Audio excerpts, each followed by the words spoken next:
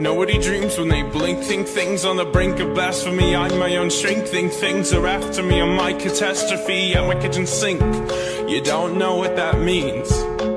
Because a kitchen sink to you is not a kitchen sink to me, okay, friend? Are you searching for purpose? Then write something, yeah, it might be worthless. Then paint something, then it might be wordless. Pointless curses, nonsense verses. You'll see purpose start to surface.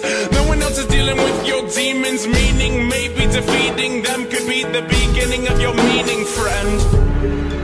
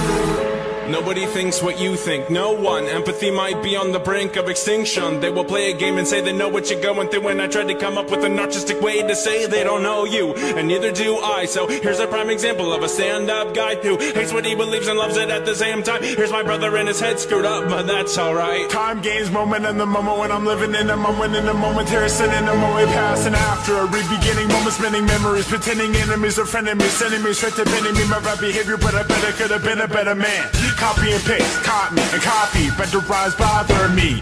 The better the rhythm, the better I am. But the better, better, with the better, better I am. Gambling man. Better, better I am a gambling man. I am.